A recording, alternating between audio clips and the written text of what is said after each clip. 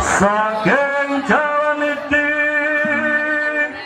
arsemadang jagat ngomong panas sapucak mugi